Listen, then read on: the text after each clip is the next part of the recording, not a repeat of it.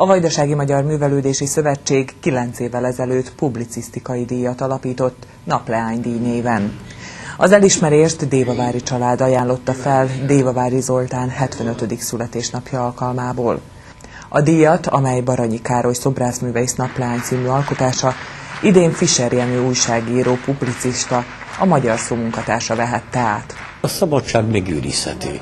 Voltak olyan időszakok, amikor e, e, szorosabbra fogták a gyeplőt, akkor is kifejezheti magát a, a, a, a sorok között.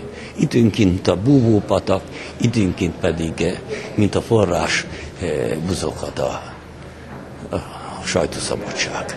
Az ünnepségen Húsvár László nyugalmazott nagybecskereki megyés püspök, a hitélet volt szerkesztője átvehette a Táncsics Mihály díjat, amelyet minden évben a Magyar Nemzeti Erőforrás miniszter az újságírói tevékenység elismeréseként nyújt át.